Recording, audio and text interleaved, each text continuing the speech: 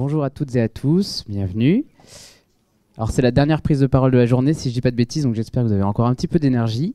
On va parler euh, design euh, éco-conçu, en tout cas d'éco-conception et la, la, place, le rôle que peuvent avoir les designers et les concepteurs dans cette démarche d'éco-conception. Alors on sera deux parce que ça nous donne plus de courage pour vous présenter ce sujet. Euh, donc moi je suis Damien, je suis lead UX designer à l'agence LunaWeb. Et du coup bonjour à tous, moi c'est Alizé, je suis également designer à l'agence LunaWeb.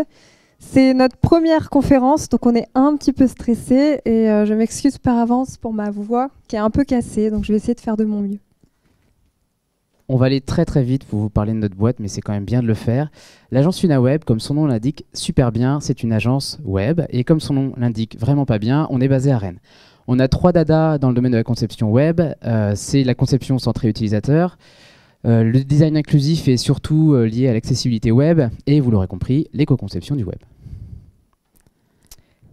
Alors, quelles sont vos actions pour prendre soin de notre planète au quotidien? Euh, C'est la question qu'on entend tous maintenant aujourd'hui, notamment en parlant d'écologie. Et c'est la question que je me suis amusée à faire, à poser aussi à mes camarades à l'agence pour récolter leurs trois grandes actions. La première, c'est euh, qu'on nous a euh, donné, c'est je réduis, je consomme plus, de viande, pardon, j'achète local. Ça va être ici. La seconde, c'est je me déplace à pied, à vélo en transport en commun quand c'est possible. Je privilégie les, les vêtements, l'achat de seconde main et le réutilisable, donc on évite d'acheter du neuf. Je recycle l'eau de pluie pour les plantes, les toilettes, le lave-vaisselle. Je fais attention évidemment à bien trier mes déchets, à composter et à limiter le plastique et le suremballage. Et pour terminer, je sensibilise mes enfants et mes proches qui sont ouverts. Et c'est sur ces deux dernières composantes en fait qu'on voulait euh, s'attarder euh, aujourd'hui avec vous, parce que c'est finalement par là que nos petits pas au quotidien en tant qu'individus pour l'écologie ont commencé. On a trié nos déchets, on a été sensibilisés. Et pour l'éco-conception, bah, c'est un petit peu la même chose. Parce que pour toutes ces actions, c'est déjà un bon début, mais on peut encore aller plus loin.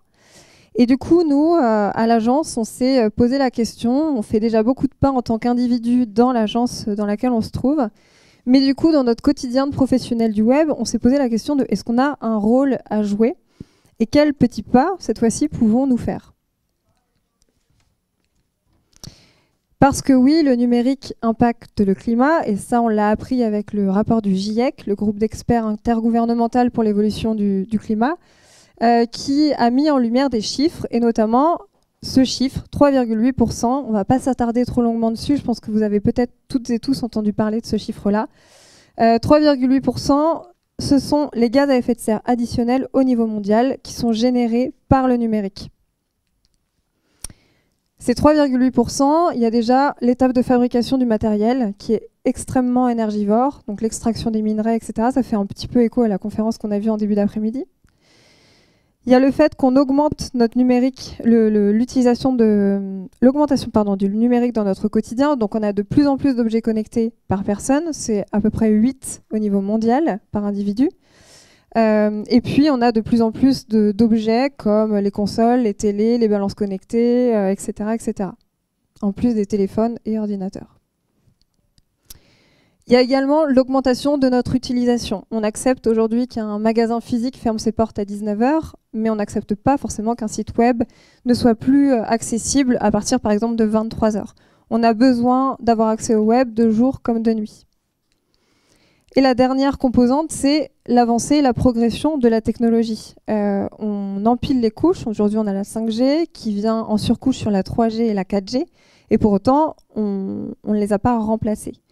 Euh, et puis, bah, forcément, plus c'est faci facile d'accéder à la data, plus on en consomme.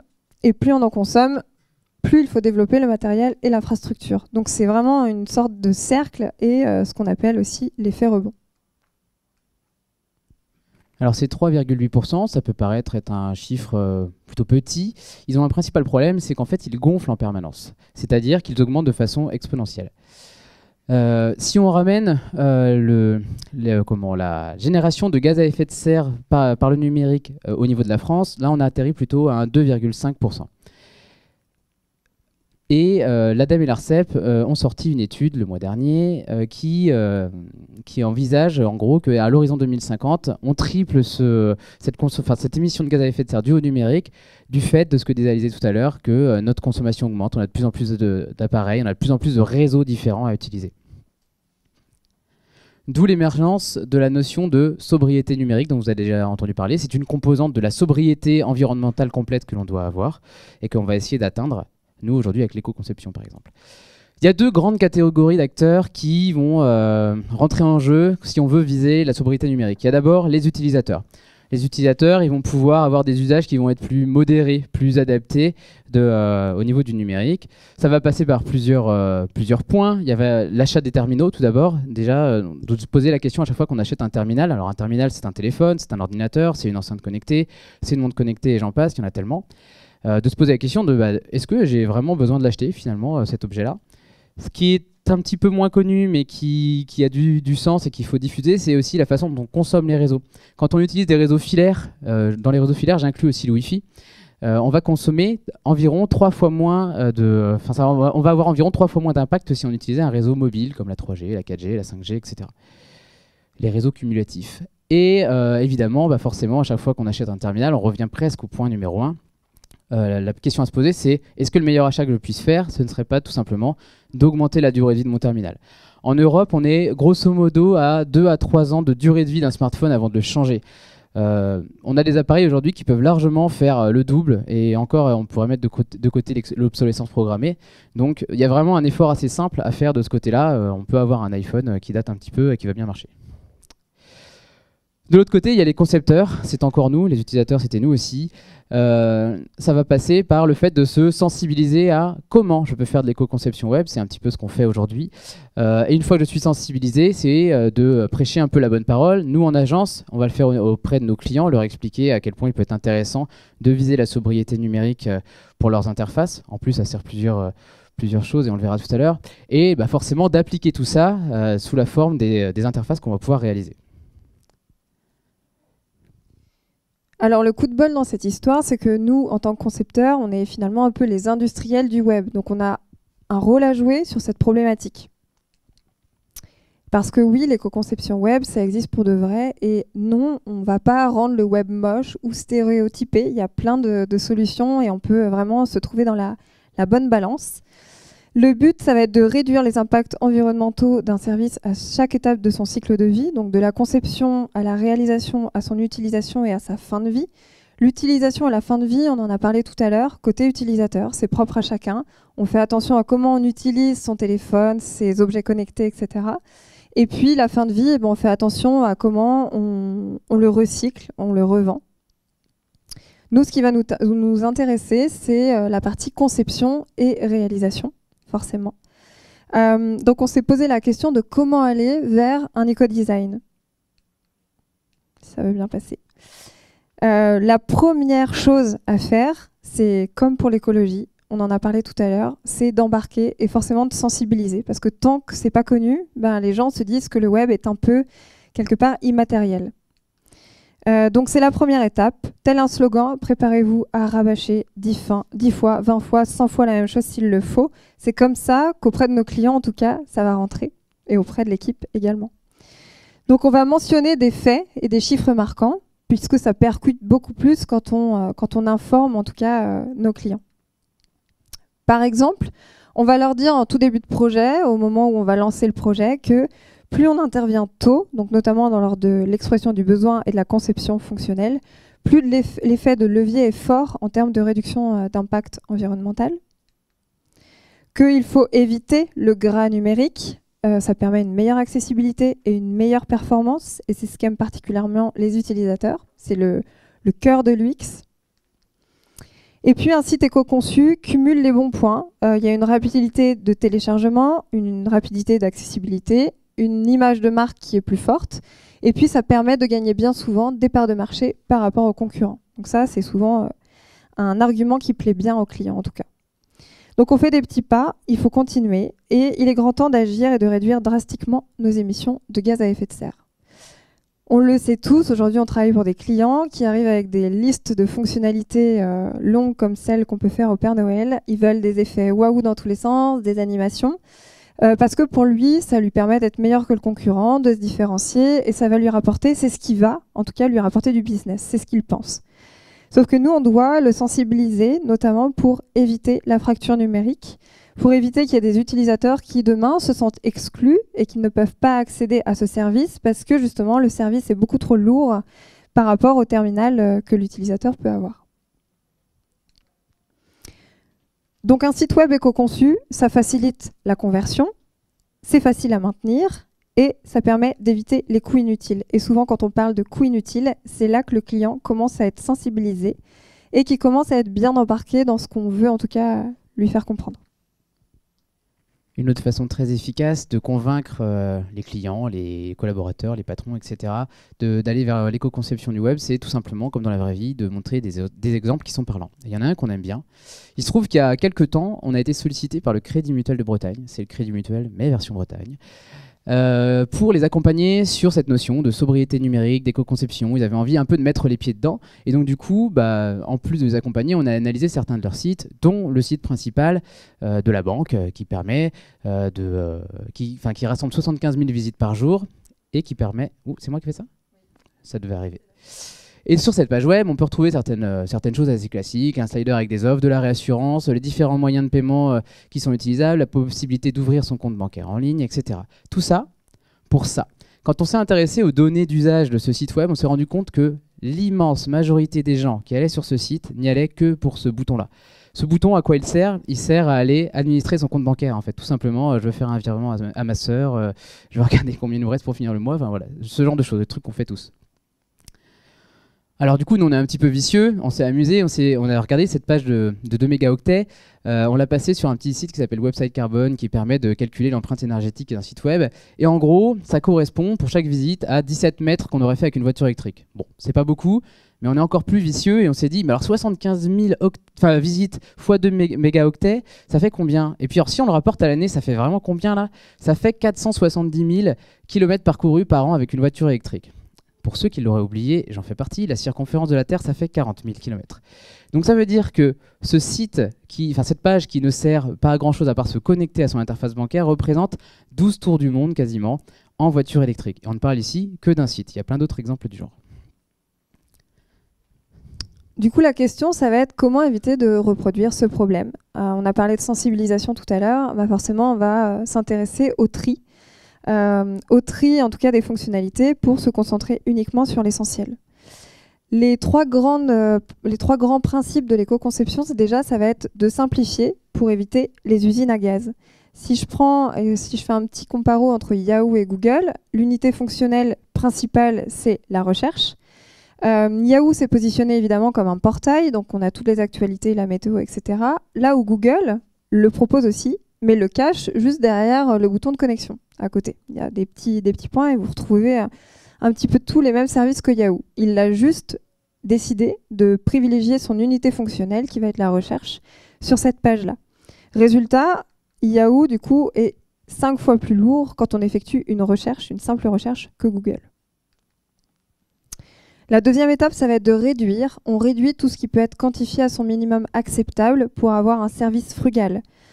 Par exemple, je prends le premier euh, là de, la liste, le nombre d'éléments affichés dans une liste. On a un site aujourd'hui où on a beaucoup de, pages avec euh, des petites cartes, par exemple d'actualité, un listing. Et on va se dire, bon, euh, jusqu'à combien on peut aller en mettre? 12, 15, c'est peut-être pas mal, on fait des colonnes de 3, etc. En éco-conception, on va penser à l'inverse, on va penser au minimum acceptable. Trois actualités dans une page, c'est quand même pas terrible, ça montre qu'il n'y a pas grand-chose. 6, ça peut être le minimum que j'accepte, en tout cas sur ma page, avant de passer peut-être à la page numéro 2. Dans ces cas-là, on va privilégier le 6 éléments au lieu du 12 ou du 15 comme on avait tout à l'heure. La troisième étape, c'est la pertinence. La pertinence, ça se calcule par l'utilité, multiplié par la rapidité et multiplié par l'accessibilité. Alors je prends un exemple de la Google Map, très énergivore. C'est utile, évidemment, ça permet de, savoir où se trouve un lieu précis. C'est rapide, bah, ça dépend. Encore une fois, ça dépend du terminal de l'utilisateur, si c'est un terminal ancien ou plutôt récent. Accessible Eh bien, pas vraiment. Du coup, on privilégie dans ces cas-là plutôt un petit lien qui va permettre aux utilisateurs de ne pas charger cette carte-là sur le site web, mais de permettre quand même aux utilisateurs qui désirent voir où se trouve ce lieu de, pouvoir le faire avec le service en question. Du coup, pour tout cela, il faut faire euh, des choix à la méthode d'OUI. Il faut savoir renoncer, il faut savoir dire non, et parfois c'est pas si simple d'embarquer son client quand on lui demande justement de faire ses choix sur sa fameuse liste des fonctionnalités.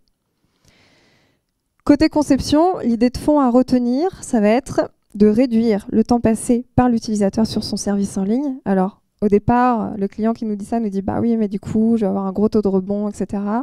Oui, mais en même temps, si on a répondu à son besoin initial, ben, il n'a pas besoin de rester plus longtemps sur le service. Et c'est là où les études et la recherche centrée utilisateur qu'on fait en amont a un vrai impact, parce que tant qu'on ne connaît pas ces utilisateurs, on ne peut pas définir l'unité fonctionnelle prioritaire, et du coup, on ne peut pas se concentrer sur l'essentiel. Et la deuxième étape, ça va être d'augmenter la durée de vie des terminaux et ne pas inciter les utilisateurs qui possèdent des terminaux modestes ou anciens à les changer. Donc notre rôle, ça va être aussi de restreindre cette, fameuse liste des fonctionnalités pour pouvoir se concentrer uniquement sur celles euh, qui sont les moins lourdes possibles. Et donc, si on revient sur cette méthode d'OUI qui va nous amener à faire des choix et à, trier ce qui ne doit plus être dans l'interface, on va s'intéresser à la notion de service rendu, le service principal que l'on veut rendre à l'utilisateur avec notre interface, notre service en ligne. Et c'est ce qu'on appelle l'unité fonctionnelle.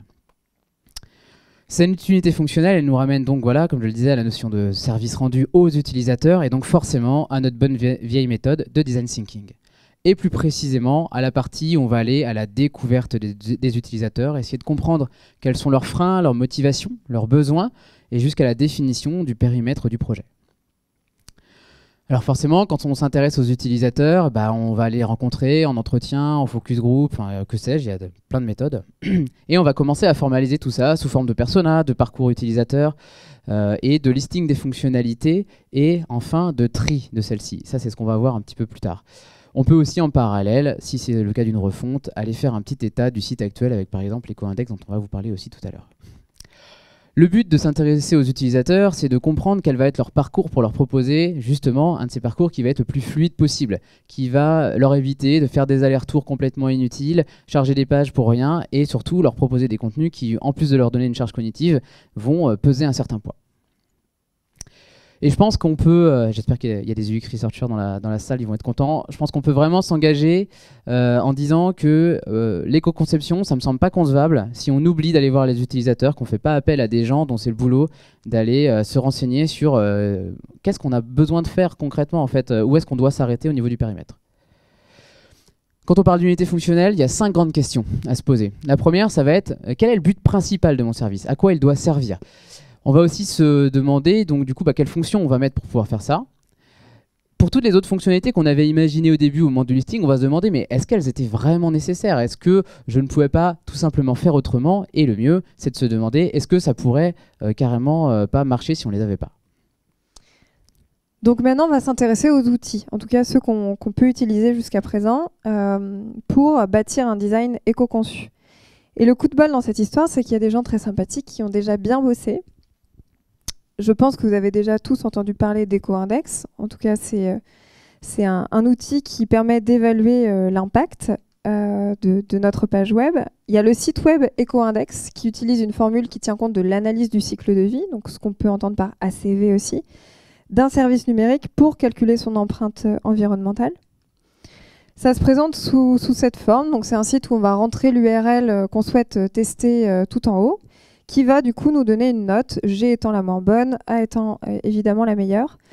Euh, et c'est une moyenne qui est pondérée sur trois éléments. Donc on va calculer euh, la taille, la taille d'une page, la taille du DOM, donc le nombre d'éléments HTML. On va calculer aussi le nombre de requêtes qui sont effectuées avec le serveur, et puis on va calculer le poids de la page. Juste en dessous, on va retrouver également des chiffres qui sont intéressants, encore une fois, pour la sensibilisation. Le client, encore une fois, il a besoin de chiffres pour comprendre. Donc là, ça lui permet de, pouvoir avoir une petite estimation. Le but, ça va être forcément de répéter ce processus-là sur tout le parcours utilisateur qui aura été défini en amont par l'unité fonctionnelle. Alors pour Google, ça va être assez simple, c'est une simple recherche. Mais pour d'autres sites, comme des sites e-commerce, on va passer par la page d'accueil, puis par une page listing, une page produit, le panier, etc. Donc le but, ça va être de, faire ce parcours-là sur l'ensemble euh, de celui effectué par l'utilisateur grâce à l'extension euh, navigateur Green IT Analysis qui permet aussi d'avoir le contexte d'usage de l'utilisateur. Euh, on s'est amusé à faire ça par exemple sur un parcours d'un site e-commerce et ça nous permet d'avoir un petit peu toutes les, euh, informations de la lettre, taille de la page, la taille du nom, le nombre de requêtes et puis on n'est pas allé jusque là mais il y a aussi du coup la consommation d'eau etc qu'on peut additionner. Alors les plus de ce service, c'est que bah, forcément il est gratuit, il est ouvert à tous. Ça permet d'estimer globalement l'impact d'une page puis d'un parcours. Ça permet également de mesurer sa progression quand on est dans le cadre d'une refonte et du coup ça permet de trouver un petit peu des axes de progression avant-après, voir si on a amélioré des choses. Et c'est des résultats qui sont basés sur une analyse de cycle de vie d'un produit numérique. C'est le plus, mais c'est aussi son petit point faible puisque ils sont pas spécifiques aux services numériques qu'on est en train d'évaluer, euh, ils sont vraiment euh, de manière, euh, ils sont présents de manière globale. Et puis tout n'est pas encore pris en compte. On ne prend pas encore en compte le, type d'appareil, le type de connexion, on l'a vu tout à l'heure, filaire ou mobile, le type d'hébergement et potentiellement d'autres indicateurs environnementaux. C'est complémentaire, mais c'est pas la même mayonnaise. On va pouvoir s'intéresser au RGESN. Le RGESN, c'est le référentiel général d'éco-conception des services numériques, je l'ai appris par cœur. Et euh, pour ceux qui connaissent un peu l'accessibilité web, c'est euh, le pendant un peu juvénile encore du RGWA, référentiel général d'amélioration de l'accessibilité. L'amélioration, on l'oublie tout le temps. C'est euh, un outil, tout ce qu'il y a de plus officiel, enfin en tout cas un service, je ne sais pas comment on peut l'appeler, une ressource, tout ce qu'il y a de plus officiel, puisque c'est le gouvernement qui nous le propose, qui a travaillé avec l'ADEME et l'INR. J'ai passé des slides, j'arrête pas. Et ce référentiel va reprendre 79 critères d'éco-conception qui vont nous guider sur les choses qu'il faut faire pour avoir un site éco-conçu. Ces 79 critères, ils sont répartis en 8 thématiques. On va parler d'architecture, de spécification, de contenu, de design, de dev et d'hébergement. Ces 79 critères, ils vont aborder différents points. Est-ce qu'on a défini notre cible utilisateur? Est-ce que l'interface peut fonctionner sur les terminaux vieux de plus de 5 ans? Est-ce que ça va fonctionner avec une connexion bas débit? Et tout ça x 79. Dans chacun de ces critères, on va être un petit peu guidé puisqu'on va nous rappeler l'objectif, pourquoi est-ce qu'on contrôle ce critère-là? On va nous informer sur la mise en œuvre pour bien le faire et surtout sur la façon de le contrôler.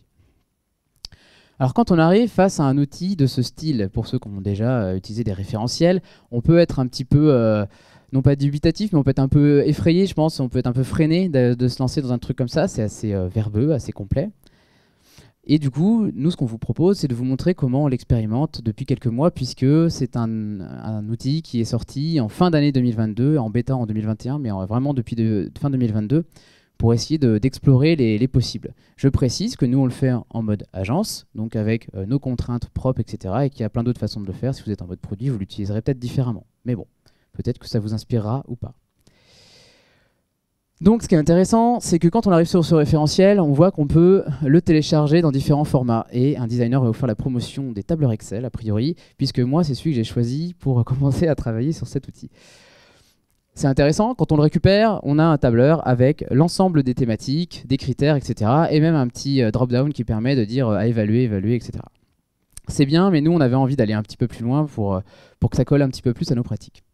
Donc ce qu'on a fait, c'est qu'on a rassemblé un délégué par euh, métier euh, qu'on a à l'agence, un chef de projet, un UX researcher, un UX designer, un dev front, un dev back, pour essayer de voir comment on pouvait s'en dépatouiller. À partir de là, on a réintégré dans le tableau, on l'a complété, on a réintégré les critères, les objectifs, euh, les moyens de contrôle, de façon à tout avoir sous les yeux et pas passer d'un onglet à l'autre. Ça c'est tout bête, mais bon, c'est quand même intéressant. Et surtout, ce qu'on a fait, c'est qu'on a réparti les responsabilités. Je ne sais pas si le terme est bon, mais bon, peu importe, je vais vous expliquer. En gros, on avait défini qui, sur chaque projet, quel métier était le plus à même de contrôler que ce critère était rempli ou non. Et parmi ces personnes en situation de contrôle, on a les UX researchers pour euh, le côté données utilisateurs, les designers pour le côté conception, les front-end, les back-end pour le dev évidemment, et c'est assez important de le souligner, les porteurs de projets, puisqu'il y a beaucoup de notions dans ce RGESN qui ont trait au contenu, à la façon dont on administre le site. Durant toute sa vie, on va rajouter des photos, des choses comme ça, des vidéos, et donc euh, on va être, on va être le responsable finalement de ce qui va se passer.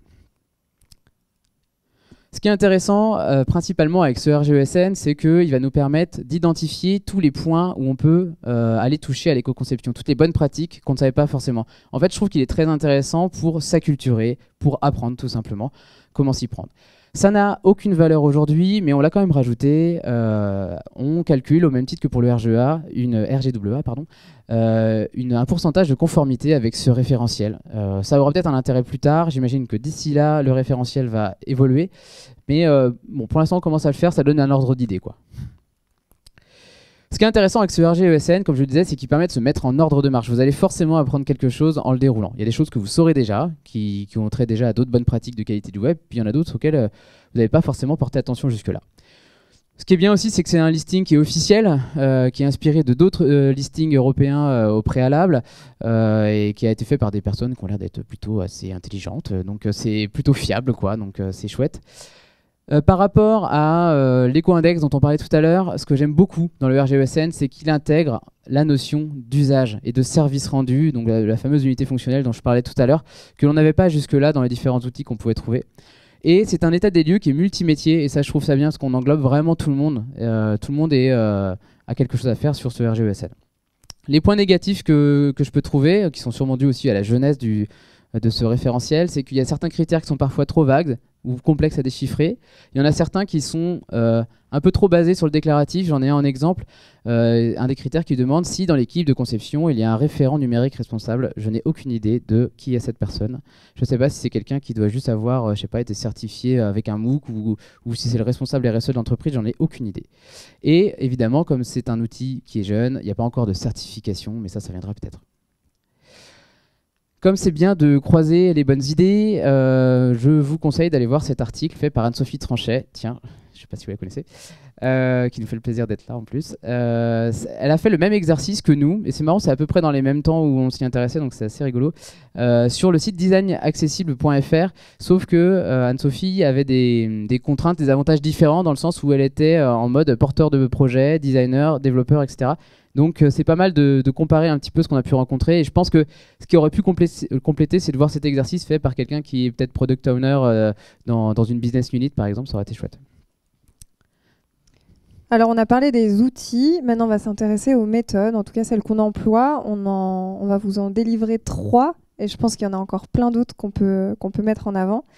Parce que éco-concevoir, c'est avant tout bien réfléchir son périmètre, 45% des fonctionnalités demandées ne sont jamais utilisées dans la petite liste que notre client fait. Et 70% ne sont pas indispensables. Donc il y a un vrai tri à faire euh, pour justement se consacrer à l'essentiel. Euh, la méthode numéro 1 qu'on vous propose, c'est déjà restreindre avec le Design Studio. Alors je ne sais pas si ça parle à tout le monde, mais en tout cas le Design Studio, c'est un atelier qui est collaboratif et qui s'appuie sur le sketching. Il n'y a pas besoin de savoir dessiner pour pouvoir euh, l'utiliser. Les clients peuvent du coup participer, ce qui nous permet de voir un petit peu qu'est-ce qu'ils attendent de leur service. Et puis ça va permettre à l'équipe d'explorer des idées et des solutions de conception. Ce que j'ai pas dit, c'est que souvent le design studio, il se fait sous format desktop, puisque c'est déjà plus facile, on va dire, dans, les usages à penser desktop. C'est là où on en met le plus, en tout cas. Et en fait, la part des utilisateurs sur mobile, elle est aujourd'hui de presque 60% contre 38% pour le desktop et 2, euh, petits pourcents pour, euh, pour la tablette. Donc il faut penser mobile first parce qu'aujourd'hui, euh, plus de la, moitié de l'Internet mondial va, en tout cas, consulte les, données sur mobile. Sur mobile, forcément, par rapport au desktop, l'espace est beaucoup plus limité. Donc ça permet de, de faire des choix et de se consacrer à l'essentiel. C'est vraiment le maître mot. Euh, l'approche mobile first, c'est un principe d'amélioration progressive et c'est vraiment le cœur de l'UX. Donc le, cœur de l'UX, c'est vraiment ce qui a chouchouté. Donc pour entraîner nos cerveaux, on va essayer de concevoir un site en pensant cette fois-ci par sa version mobile. Donc on va être plusieurs dans la salle, dont le client idéalement, si c'est possible. On va chacun faire un petit sketching de ce qu'on imagine, en tout cas sur la grande première partie de la page. Et puis la deuxième partie, ça va être de venir voter en fait, on va donner, attribuer peut-être six votes à chaque participant. On va venir voter pour les fonctionnalités qui nous ont le plus plu chez les uns et chez les autres, hormis euh, bien sûr son, enfin sans, venir voter pour son propre design studio évidemment.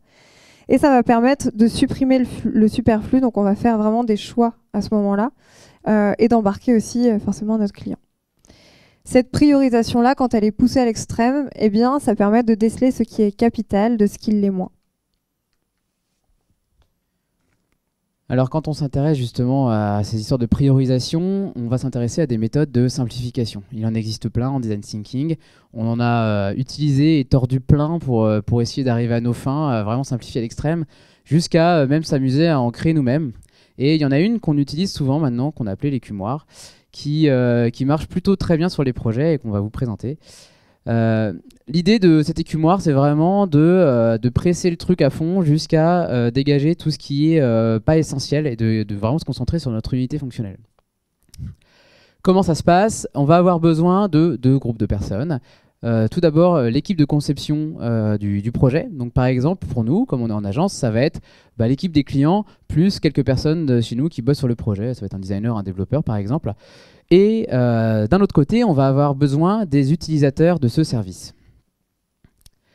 C'est une méthode d'idéation assez classique dans le sens où elle va forcément commencer par une phase de divergence. C'est-à-dire qu'on va aller chercher tous les possibles sans se, sans se limiter pour ensuite justement converger vers l'essentiel. Et c'est ça qui est intéressant. Alors, on va faire un petit exemple. On va imaginer par exemple, qu'on pourrait lancer une start-up de euh, décopâturage pour les particuliers. C'est-à-dire qu'on va pouvoir proposer à des gens de louer des petits moutons pour venir tondre leur pelouse euh, avec moins de gaz à effet de serre et en plus de façon beaucoup plus mignonne. Ça existe déjà pour les entreprises, pour info. Euh, donc comment on va faire bah, Comme un projet classique, on va commencer par définir les idées de conception que l'équipe projet va souhaiter. Donc ça pourrait donner, euh, oh bah tiens, ce serait bien d'avoir un large catalogue de moutons euh, à proposer. Peut-être qu'on pourrait avoir une petite messagerie, intégrée pour que les gens puissent parler entre eux, voir nous avec eux, peu importe. Ah et puis si le projet marche bien, ce serait quand même pas mal carrément de leur vendre des moutons parce que s'ils sont vraiment contents, bah voilà, ils pourraient acheter un mouton. Je pense que ça n'arrivera jamais. Dans le même temps, on va faire pareil avec les utilisateurs, sauf que là, on va pas se concentrer sur leurs objectifs, on va se concentrer sur leurs besoins. Donc ils vont, euh, pareil, remplir tout un tas de post-it avec des idées. Euh, ils vont dire, bah voilà, je voudrais trouver un petit mouton près de chez moi. Il se trouve que moi, j'adore les petits moutons noirs de Wesson, donc ce serait quand même vachement bien si en plus je pouvais choisir le type de mouton que je vais avoir. C'est vraiment très mignon. Et euh, on pourrait aussi avoir un système de communauté entre loueurs de moutons pour peut-être se partager des photos, se donner des astuces, etc. Ok. Dans ces cas-là, pour ceux qui l'ont déjà fait, on a plein d'idées et c'est le but. Ensuite, euh, on va essayer de traduire toutes ces idées en fonctionnalités. Donc ça pourrait donner, désolé l'exemple est un peu simpliste, c'est pour illustrer, on pourrait avoir bah, la fonctionnalité catalogue de moutons, la fonctionnalité choix de couleur de mouton, un forum et un catalogue de boutiques en ligne pour que les gens puissent acheter des moutons parce qu'ils aiment vraiment ça. Et enfin, on va classer les fonctionnalités et c'est là où ça peut devenir assez intéressant. Ce qu'on va faire, c'est que toutes ces fonctionnalités qu'on a listées, on va les redonner à nos groupes d'utilisateurs, exactement les mêmes. Donc par exemple, nos concepteurs, on va leur dire de placer les fonctionnalités sur ce graphique qui va leur permettre de classer euh, les post-it selon si la fonctionnalité répond faiblement ou fortement euh, à leurs objectifs et, euh, et c'est l'intérêt d'avoir des devs dans l'équipe, si en fonction de si cette fonctionnalité est lourde ou pas potentiellement à développer en termes d'empreinte énergétique. Donc par exemple, avec notre exemple, on pourrait retrouver le catalogue de location de moutons très haut dans les objectifs. Par contre, bon, c'est une fonctionnalité qui est quand même moyennement lourde, etc. Donc on va la retrouver à cet endroit. A contrario de la boutique qui finalement n'était pas euh, forcément indispensable et qui... Euh, j'ai passé le truc. Euh, et qui du coup, en plus, est assez lourde.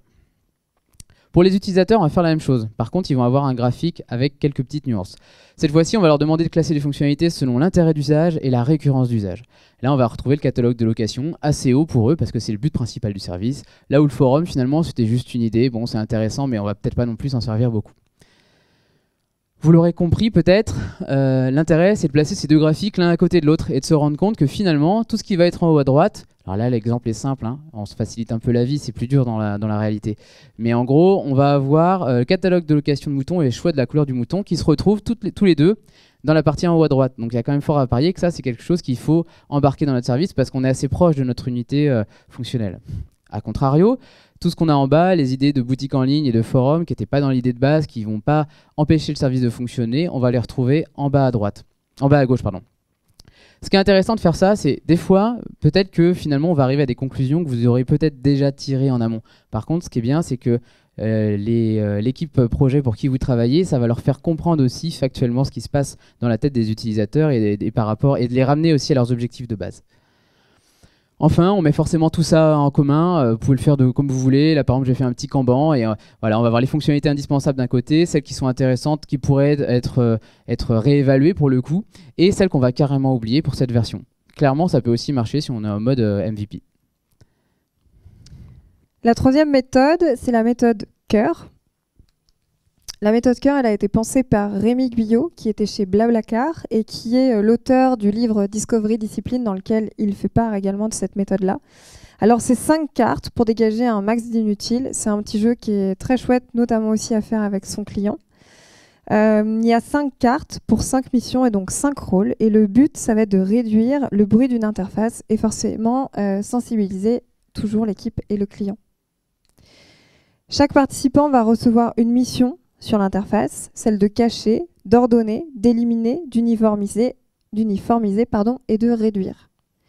Si je donne un petit exemple, la carte cachée, le but ça va être de mettre hors de vue une fonctionnalité sur une page pour la placer ailleurs sur l'interface sans la détruire. Donc évidemment, on fait ça avec le site en face de nous. Chacun a sa mission. Euh, par exemple, le bloc d'inscription à la newsletter, qui est souvent dans le footer ou un petit peu au-dessus du footer, ben, on pourrait peut-être se dire, au lieu de l'embarquer sur toutes les pages de notre site, euh, on peut peut-être potentiellement juste la mettre dans des pages euh, qui sont essentielles à ce niveau-là du parcours de l'utilisateur, donc sur des pages articles ou autres. La carte ordonnée, ça va être de déplacer, hiérarchiser un élément dans l'écran en privilégiant un endroit plus judicieux au cours de la navigation. On voit souvent les réseaux sociaux sur les pages d'un article qui sont déjà tout en haut avant même d'avoir lu l'article. Peut-être que là, on pourrait les réduire, euh, les, déplacer pour les mettre tout en bas. Une fois que l'utilisateur a lu son article, c'est là où il est plus susceptible du coup de partager. Il y a la carte éliminée, donc c'est souvent la plus simple finalement. Le but, ça va être de désengorger l'interface en supprimant un élément inutile. Donc on peut euh, reparler de la carte Google Maps tout à l'heure qui euh, indiquait une position. Bah là, si on est sur un site de vente en ligne, est-ce qu'il y a réellement euh, la nécessité d'avoir le siège de l'entreprise directement sur une Google Maps sur le site? On peut se permettre du coup de la sortir. S'il y a besoin, on privilégie un lien. Et puis forcément, on a un impact qui est très bénéfique en termes d'éco-conception. On a la carte uniformisée. Donc le but, ça va être d'harmoniser plusieurs composants pour minimiser la charge mentale de l'utilisateur. Des fois, on se retrouve sur des sites avec des icônes complètement différentes, euh, peut-être 3, 4, 5 typologies de boutons. Là, le but, c'est vraiment d'uniformiser tout ça euh, pour éviter aussi toutes les lignes de code, les lignes de CSS et euh, forcément faire gagner sur le poids de la page. et puis, forcément, pour l'utilisateur, ça lui évite de réapprendre des choses. Et la dernière carte, ça va être réduire, donc simplifier ou minifier une information, son contenu et sa taille. Je prends l'exemple tout bête d'un site e-commerce où on a le TTC, le hors-taxe et l'éco-participation. Évidemment, quand on est particulier, on va s'intéresser au TTC. Le hors-taxe, on n'a limite pas besoin. Et l'éco-participation, lui, pourrait être en tout petit, en, italique, peut-être dans une couleur euh, un petit peu moins euh, présente. Et puis forcément, comme toutes les méthodes qu'on vous propose, le but c'est de confronter les visions pour se positionner et faire des choix.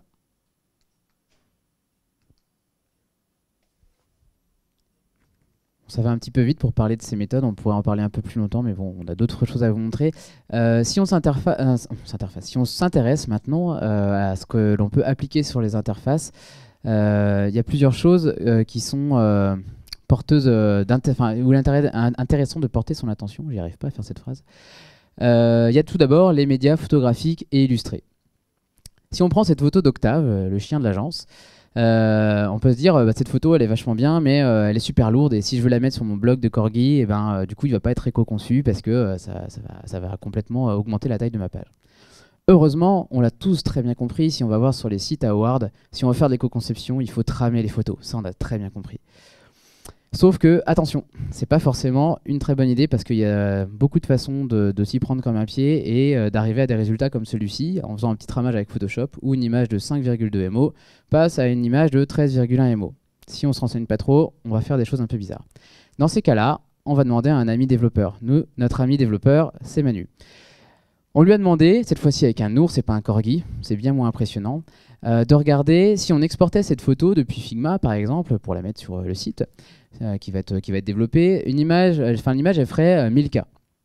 Et si on lui applique un filtre tramage cette fois-ci, le filtre Bayer qu'on peut trouver, alors il y a un site qui s'appelle Deezerit qui permet de faire des tramages comme ça, vous pourrez aller voir, qu'on le passe en noir et blanc et qu'en plus on applique une optimisation à l'image, euh, là on arrive à une image de 50K. Donc on voit qu'on peut vraiment gagner sur les images et que c'est intéressant. Mais arrêtons-nous deux secondes sur ce qui me semble vraiment le plus important dans tout ça. Il y a beaucoup d'étapes qui ont été faites pour arriver à ce 49K. Et en fait, la plus importante, c'est celle de l'optimisation. En gros, ce qu'il faut comprendre, c'est que euh, on n'est pas obligé de complètement standardiser le web et de faire des images euh, style impression offset partout euh, pour dire qu'on est éco-conçu. Le plus important, c'est juste de les optimiser. Après, le traitement graphique qu'on fait derrière va pouvoir nous faire gagner encore un petit peu, mais c'est vraiment minime et on peut se concentrer peut-être sur d'autres choses. Donc, je, voudrais un peu casser le mythe de faut mettre, faut plus mettre d'images, sauf si elles sont ultra tramées. c'est pas forcément vrai. Il faut juste bien euh, développer tout ça et normalement, on va déjà avoir des images moins lourdes. Donc en gros, optimisons. Et ça n'est pas tout. Si je reprends cette image d'Octave, il est vraiment mignon. On va se poser la question de à quoi va servir cette image et même plus précisément dans quel contexte je vais utiliser cette image. Cette image, euh, de base, elle fait de mémoire 4000 euh, par 3000 pixels. Euh, si je veux l'utiliser dans mon hero header en haut de, ma page, à la limite, on peut se dire que peut-être que ça peut se justifier. Je pourrais la réduire un petit peu pour qu'elle soit un peu moins lourde, la réduire en taille. En revanche, si je dois l'utiliser sur une petite carte d'actualité, sur mon blog ou un truc comme ça, pour une image de 400 pixels, bah là, c'est pareil, il va falloir avant tout, avant même l'optimisation, déjà réduire sa taille. Et vous imaginez bien qu'une image de 4000 par 3000 pour illustrer des petits profils utilisateurs ou des témoignages, bah c'est complètement aberrant. Pourtant, on le voit super souvent. Je m'arrête très rapidement sur le format SVG que vous connaissez. Euh, il y a une notion quand même qui est très importante à avoir, qui n'est pas toujours évidente, c'est que une image simple en SVG sera toujours plus légère qu'une image complexe. Par exemple, la petite image que vous avez en haut, elle est faite de points et de courbes assez simples, à la différence de euh, la gravure un peu steampunk qu'on a en bas à droite, qui euh, est faite de plein de petits points, etc. Donc ça va forcément complexifier le code et le poids de ce SVG. Si on prend une image que vous avez en haut à droite, qui se trouve un peu entre les deux en termes de complexité, et qu'on redemande à Manu de venir jeter un coup d'œil et nous faire une petite moulinette. On va voir que euh, le poids de, cette image en SVG, et ça c'est normal puisque c'est le principe même d'un SVG, sera toujours le même. Qu'on l'étire à l'infini, ce sera toujours 37 KO. En revanche, euh, si on utilise des formats bitmap, et eh bien là, on va se rendre compte que sur des petits formats, ça va être peut-être plus intéressant finalement d'utiliser de l'image que du SVG. On se dit souvent le SVG c'est mieux pour euh, l'éco-conception. Bah, pas forcément, ça va dépendre. En revanche, sur des grandes images, ouais, là clairement c'est très intéressant. Donc en gros, il faut toujours essayer de s'intéresser au format de son image, à sa complexité et au contexte dans lequel on veut l'utiliser. Très rapidement, les médias vidéo, il y a trois règles. C'est euh, quand on veut mettre une vidéo sur un site web, la première question c'est est-ce que est-ce que je suis vraiment obligé de mettre, de mettre cette vidéo? Est-ce qu'elle est porteuse de sens suffisamment? Est-ce qu'un texte aurait pas pu suffire? Et je passe sur le côté accessibilité. On oublie l'autoplay, euh, le truc qu'on voit de plus en plus, notamment sur les, fils. Alors, ce sera plus le cas de réseaux sociaux, genre les Reel Insta, euh, sur Twitter, TikTok, mais on le voit aussi sur des, sites classiques, notamment en, fond de page. Euh, clairement, des vidéos qui, tournent alors qu'elles ne sont pas souhaitées, c'est de la consommation pour rien. On revient un peu à cette histoire de bouton du CMB, du Crédit Mutuel. Et comme pour les images, on compresse. C'est un peu les trois règles principales sur les vidéos. On s'intéresse très très rapidement sur les typographies. Euh, on a des typographies qui sont préinstallées sur nos ordinateurs. Je ne vais pas faire la liste, elles sont, une, partie sont, déjà là. C'est local, donc c'est sans requête. On a également les polices téléchargées qui là, du coup, euh, sont appelées par une requête, donc c'est plus lourd, forcément. Mais elles permettent quand même plus de choix, en tout cas au niveau du design. En 2022, le poids moyen d'une police web représente à peu près 140 KO, donc c'est à peu près 6% du poids de la page. C'est assez énorme. Euh, on a évidemment nos clients qui arrivent avec leur charte graphique toute belle, toute faite, avec euh, plein de typos, et on se dit, bah mince, si on veut faire l'éco-conception, on va peut-être euh, proposer autre chose. L'avantage de ça, c'est que éco-conception et créativité, c'est encore une fois pas antinomique. On peut effectuer une balance entre, entre tout ça et se dire que dans ces cas-là, on va privilégier une typo qu'on va venir télécharger, une typo Google Font par exemple, euh, pour les titres, donc niveau 1, niveau 2, niveau 3, etc.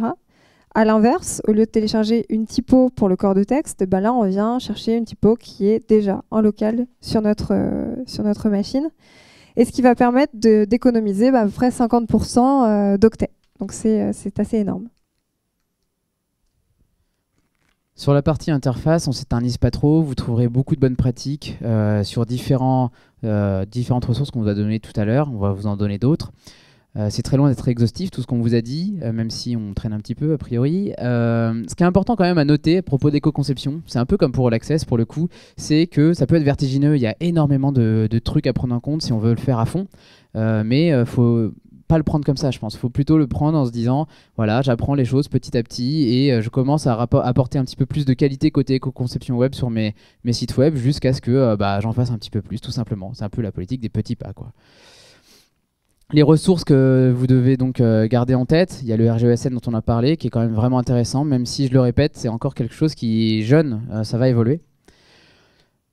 Euh, pour ceux qui ne le connaissent pas, il y a le guide d'éco-conception des services numériques que je trouve vraiment bien parce qu'il euh, est assez didactique, il prend vraiment des trucs euh, de, base. Pour le coup, il va un peu plus compléter la dernière partie là sur les éléments d'interface.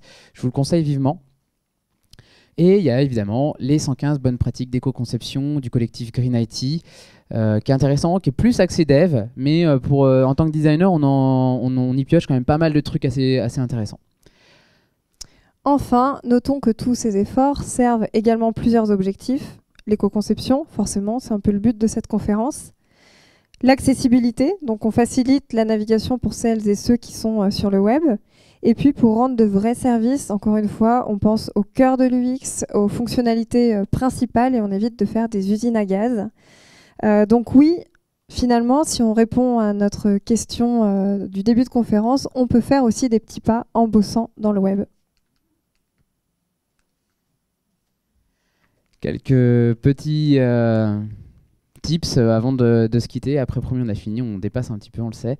Euh, si vous voulez aller un petit peu plus loin, on vous conseille vivement d'aller expérimenter les fresques. Alors, il y en avait une en plus aujourd'hui. si vous ne l'avez pas fait, vraiment, c'est chouette. Pour le coup, on a testé deux.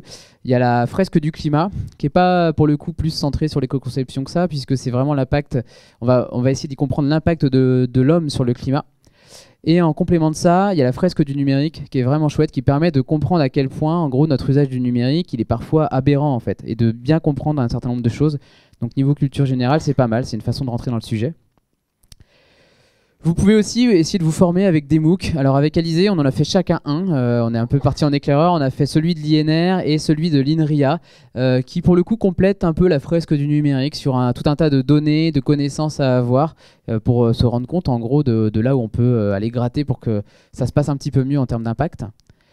Et enfin, petit instant auto-promo, non, enfin, surtout qu'en fait, il y a peut-être des trucs qui permettent d'aller plus loin par rapport à cette conférence. Euh, on a un podcast qui s'appelle Salut les designers, euh, et dans lequel il y a déjà trois épisodes qui parlent d'éco-conception. Donc si ça vous intéresse, vous pourrez euh, aller en écouter quelques-uns.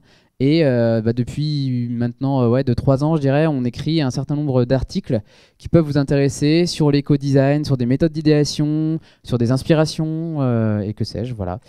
Donc, euh, en tout cas, merci de nous avoir écoutés. C'était un petit peu long. On a peu de temps pour les questions et on a eu des problèmes de zapette, désolé. Mais euh, voilà. Si vous avez une ou deux questions, on a le temps.